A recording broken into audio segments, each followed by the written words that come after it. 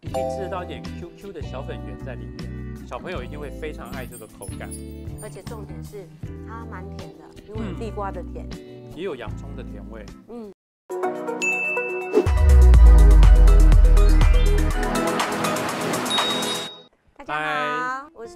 我是阿达叔叔，魅力时光让你吃的美丽又健康。是哎，我今天看到你准备一个很特别的食材，带来了红宝石来。红。宝石，台湾原住民种的红梨，对。红梨一开始是在中南美洲，是。那台湾是有原生红梨，非常难得。之前只有原住民朋友知道怎么使用，是，但现在变成是一个很夯、很夯、很夯、很夯的圣品。嗯。第一，它的营养成分非常高；没错，第二，它是低 GI 食物。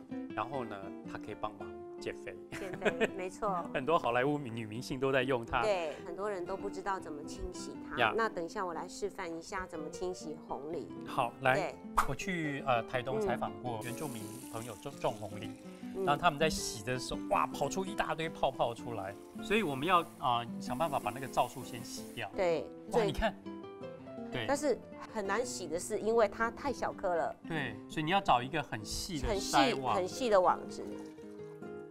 像这一种动作，我们至少重复三次，然哦，后要洗三次。对，至少哦，红梨大概就是这个手续比较麻烦。对，今天要帮我们做的是什么呢？我们今天做海鲜煎饼，我们最后一道就用我们的饮用水来洗，嗯。那一样要把它过滤一下，，OK，洗的差不多。对应该没有什么泡泡。对，然后我们要放到锅子里面煮的时候，嗯，我们刚刚是一杯的红梨，那我们就用两杯的水。一比二的比例。对对对对对，洗的差不多，我们可以泡一下。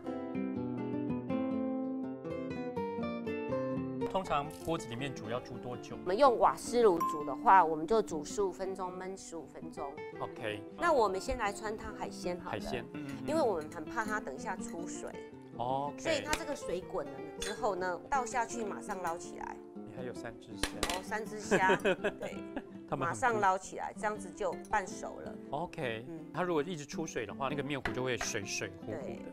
韩式煎饼里面有一个特别的粉，嗯对，不对？对，但我们今天要用什么东西取代那个粉？我们今天用全麦面粉，哦，全麦就比较。健康。对，还是地中海饮食的原则，要全谷类。嗯我们来拌这个粉，我们先把所有的粉都加进来，无铝的、没有铝的泡打粉，我们的盐巴、胡椒粉，胡椒粉，所以我们先把粉稍微搅拌一下。所有的粉。量都拌在一起。对对对，，帮我们打蛋好了，把这个红梨加进去。哦好，对。们这个就是先做粉浆的概念，OK。对。然后我们一边拌的时候，水慢慢的加对慢慢调水吗？对对一点一点调。对，一点一点调。好，你知道红梨是生长在那种我去了看了以后就嗯知道，那是一片那种干土，你知道吗？就是那个土很干很干很干，可是红梨却可以长得比我还高，哦，那个红梨长起来好漂亮哦，而且整片是红色的。红。色。对，我们拌一些香油，增加它的香气，拌到这种粘稠度就已经差不多。然后我们就把所有的全部的材料放进来对。这是洋葱、洋葱，嗯，红萝卜丝、葱，呃，葱，对还有韭菜。对，韭菜韩式煎饼一定要有韭菜。。对，那个香气非常的哎，特别。这是香姜丝吗？姜丝不是啦，这个是 台湾的地瓜。为什么要放地瓜丝？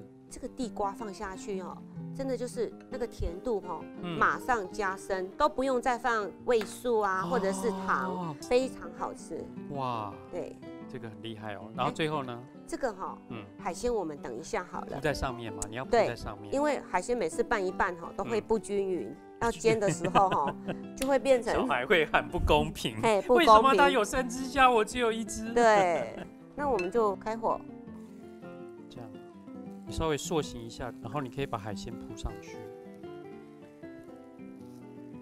可以煎成一张大张的，对，然后我们煎好再来切，嗯，也很漂亮。那如果你怕小孩觉得不公平呢，你就这样小小的煎，嗯，啊，你就说这个是爸爸的比较大啊，这个就是你们两个的，一人一个这样。嗯，真的好好玩哦。哦，哇，好美哦！唉，感觉很好吃汤，很香，非常的香。如果哦，不，错哦。发现你锅子有点干，可以补一点油。嗯，好，哇，好香，好好香香，好香哦。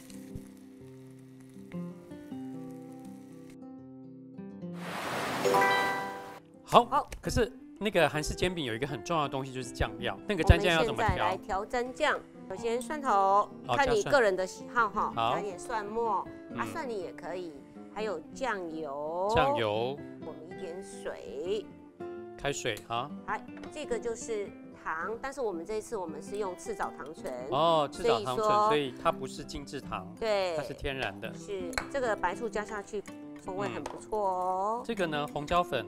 哎，对，一些辣椒粉，对，我们加一点那个白芝麻粒，哦，对，一定要有白芝麻，对，这个感感觉就给它不一样哦。对，而且白芝麻要撒在这上面。不是哦，也可以哦。对，你看，这样就完全像韩式煎饼了。对，哇，试一下，哇，这满满的海鲜，对，满满的海鲜，一点点像什么，你知道吗？里面有那种很小很小、软软的粉圆，哦，有一点点，你可以吃得到一点 QQ 的小粉圆在里面。小朋友一定会非常爱这个口感，而且你完全吃不到藜麦的味道，而且重点是它蛮甜的，因为有嗯地瓜的甜。有地瓜的甜味，嗯也有洋葱的甜味。韩式煎饼的那个粉吃起来会有点 Q 度，用藜麦就对了，太好了都不。用再加地瓜粉啊、太白粉都不要了。都不要，嗯，你用的都是天然的东西，嗯非常的健康。这个藜麦哈，你如果嫌麻烦，真的像这样子煮起来，放这个 baby food 的保鲜盒，然后放在冷冻里面，嗯，一次的量，煎饼呢或拌在白饭里面都非对，常都非常的好。好，营养方便。呀，我们今天节目就到这里。如果你喜欢我们的节目呢，记得按赞、开启小铃铛。然后你有什么想要留言的，请可以告诉 May 姐。我们下次见，拜拜。我要吃完，好好吃哦。